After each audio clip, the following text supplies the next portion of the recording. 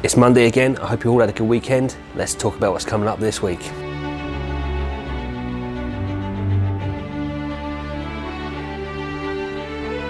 Right, so I do apologise for looking a bit tired today, but I was up late last night, office Christmas party. I didn't actually have one myself, but I went to see it. Oh my god, I look like Rudolph.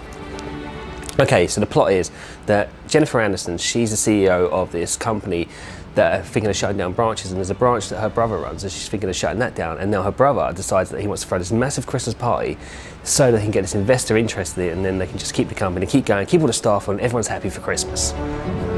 But as you might have guessed, the party ends up getting a bit out of hand and all goes a bit crazy.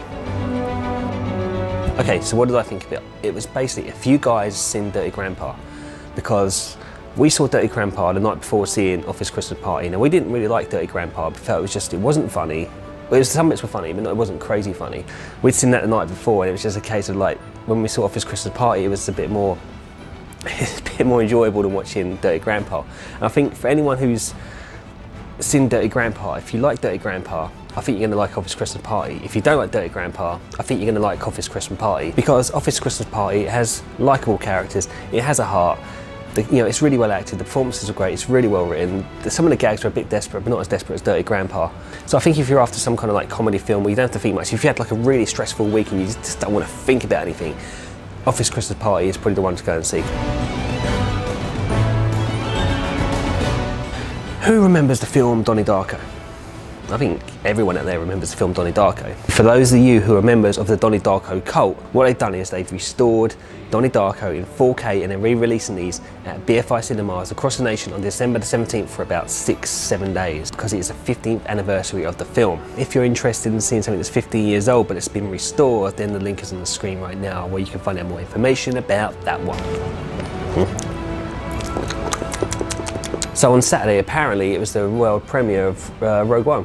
Yeah, I wasn't, I didn't see it because I wasn't invited. so, for the rest of us, Star Wars Rogue One comes out this Thursday. Now, Rogue One is set before Star Wars A New Hope, and it tells the story of the rebellion spies who steal the blueprints of the first ever Death Star. I've really nothing more to say about this except for having a Star Wars film released at Christmas is the best present for all of us. And I got my ticket already for Thursday. I'm going to be there 3D and IMAX. Get me. And coming out next week is another space film, Passengers. This one stars Jennifer Lawrence and Chris Pratt, who, upon travelling through space to a distant colony planet, wake up 90 years too early due to a malfunction in the spaceship's sleeping chambers. And I hate waking up 90 minutes too early. So with Rogue One out this weekend, Passengers out next week, there's a little bit of a space theme going on, so let's have a space theme question for our competition this week. Now for the competition, as always, we have two tickets to give away, but this time there is some small print. So the small print is, because there's a lot of people out there sending crazy amounts of Christmas cards to people, the Christmas post can be a bit delayed, so at the moment you might not get your tickets until the new year. So this is just a little bit of a warning. If you're looking to win these tickets, we might not be able to get them to you this side of Christmas, so you might have to wait till January to get them. Just telling you this, so you're not looking to see a film on Christmas. So that's the small print. We can't promise them they're going to be there before Christmas or just a bit after Christmas. They might reach you in January though. Just so that's just take it on board. Please take it on board. Don't hold it against us if they're late. Thanks. Okay, so the question this week is a space question, and all you have to do is tweet your answer to the handle that's on the screen now. Here's the question. Who directed the 1968 movie 2001 A Space Odyssey?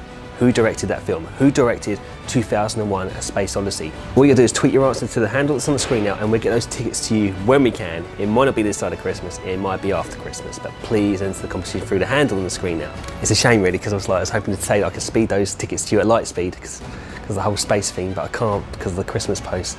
I'm going to see you again on Thursday after I've seen Rogue One. I hope you all have a great week and get to see Rogue One yourself.